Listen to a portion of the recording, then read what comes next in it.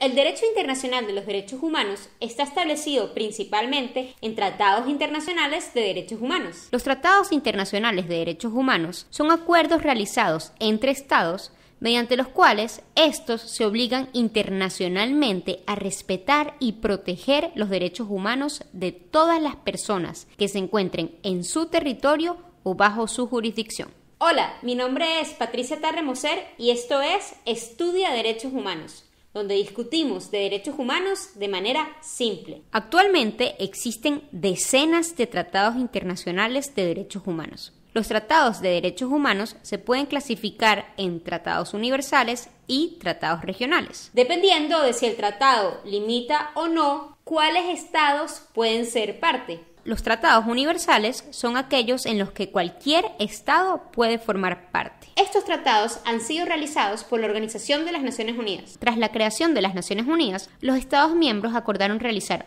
una declaración de derechos humanos y un tratado vinculante de derechos humanos. Primero entonces se adoptó la Declaración Universal de los Derechos Humanos. Pero cuando se iba a realizar el tratado vinculante, los estados estaban profundamente divididos por la Guerra Fría. El grupo capitalista opinaba que los derechos más importantes eran los derechos civiles y políticos, mientras que el grupo comunista apoyaba más bien a los derechos económicos, sociales y culturales. Entonces decidieron hacer dos convenciones diferentes. El Pacto Internacional de Derechos Civiles y Políticos y el Pacto Internacional de Derechos Económicos, Sociales y Culturales. Ambos entraron en vigor en 1976. Además de estos dos tratados que establecen los derechos que tienen todas las personas en todo momento, en el Sistema Universal de Protección de Derechos Humanos existen otros siete tratados que tratan de temas más específicos. La Convención Internacional sobre la Eliminación de todas las formas de discriminación racial.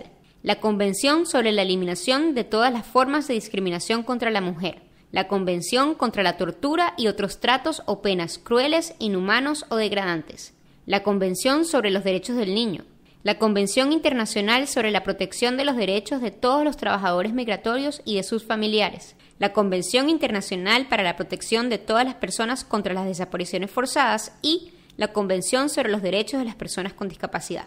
Por otra parte, los tratados regionales se refiere a aquellos tratados que limitan cuáles estados pueden formar parte del mismo. Por ejemplo, en el continente americano tenemos la Convención Americana sobre Derechos Humanos, de la cual solo pueden ser parte Estados miembros de la Organización de Estados Americanos. En Europa tienen el Convenio Europeo de Derechos Humanos, limitado a Estados miembros del Consejo de Europa. Y en África tienen la Carta Africana sobre los Derechos Humanos y de los Pueblos para los Estados miembros de la Unión Africana. Además, en los sistemas regionales de protección de derechos humanos también existen tratados de temas específicos.